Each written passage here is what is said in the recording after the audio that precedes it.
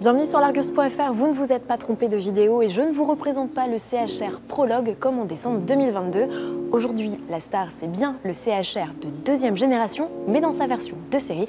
Je vous propose tout de suite de le découvrir en détail. Le Toyota CHR, c'est une véritable success story avec pas moins de 700 000 exemplaires vendus depuis son lancement en 2016. Alors ce CHR, il a un atout, c'est son design. D'ailleurs, un client sur deux l'achète pour ça.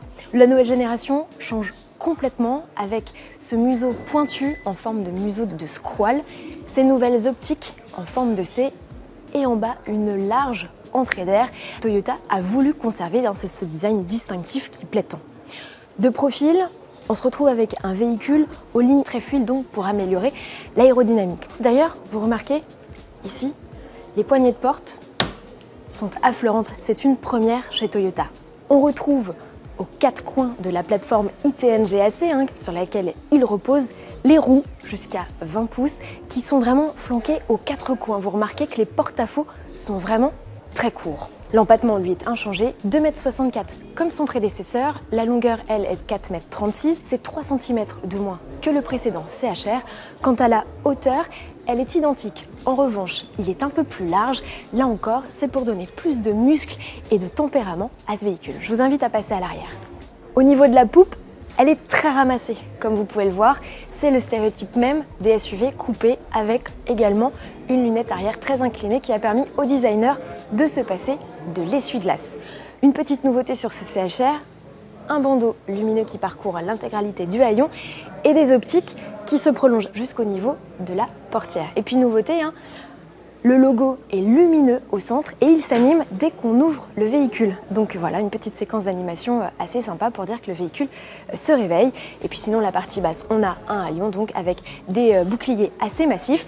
Et je vous propose eh qu'on ouvre le coffre justement pour avoir une petite idée de la volumétrie disponible. Le volume de coffre est sensiblement le même que sur le CHR d'ancienne génération. On parle de 377 litres dans la version euh, classique hybride et autour de 350 litres pour la version hybride euh, rechargeable. On découvre un coffre avec des euh, parois très verticales, hein, ce qui va faciliter le chargement malgré le seuil qui se trouve assez haut. Et puis une nouveauté sur ce CHR, c'est l'emploi de matières recyclées dont Toyota a beaucoup fait l'usage, que ce soit au niveau des moquettes ou bien même des rangements qui se trouvent sous ce plancher de coffre, qui n'est d'ailleurs pas modulable. Toyota annonce l'utilisation de deux fois plus de plastique recyclé dans plus de 100 pièces différentes, dont les sièges par exemple, ou encore le volant.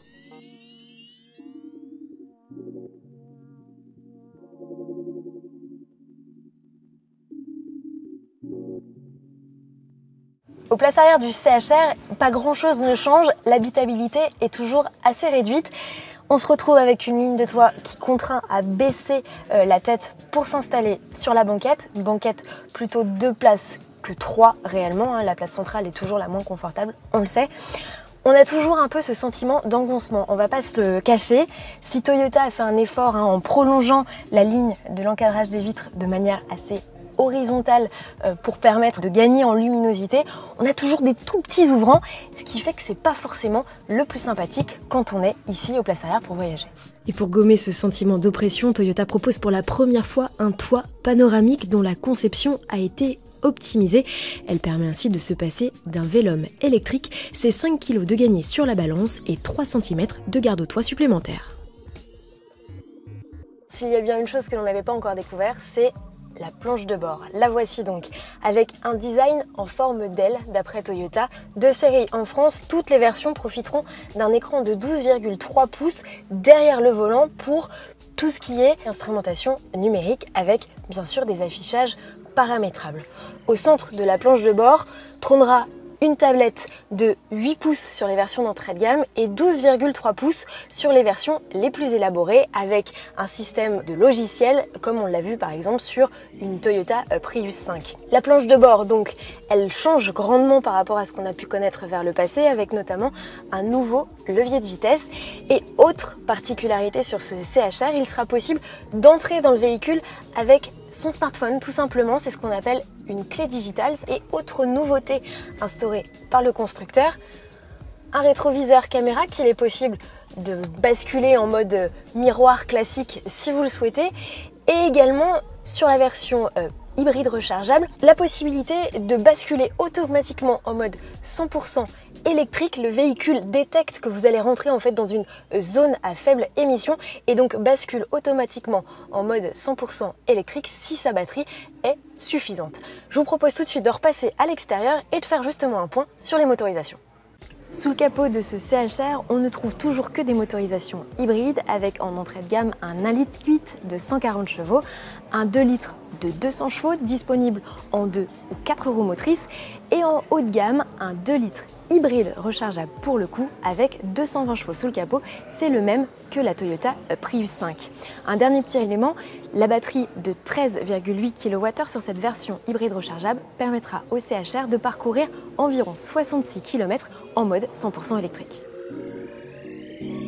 Le Toyota CHR sera disponible à la commande dès la mi-juillet avec deux finitions de lancement, l'une avec un tempérament plus sportif et des badges spécifiques, l'autre avec un côté plus chic. Elles seront toutes les deux richement dotées et le prix devrait bien sûr être au-delà des 35 000 euros. Aujourd'hui, le ticket d'entrée du véhicule est fixé à 32 750 euros. Des finitions supplémentaires s'ajouteront au catalogue, notamment en entrée de gamme et milieu de gamme. L'annonce des tarifs est prévue fin 2023. Quant à l'arrivée du CHR en concession, rendez-vous en janvier 2024. Le Toyota CHR sera produit en Europe, en Turquie, ainsi que ses batteries, du moins pour la version hybride rechargeable. Pour la version hybride tout court, elles sont produites au Japon.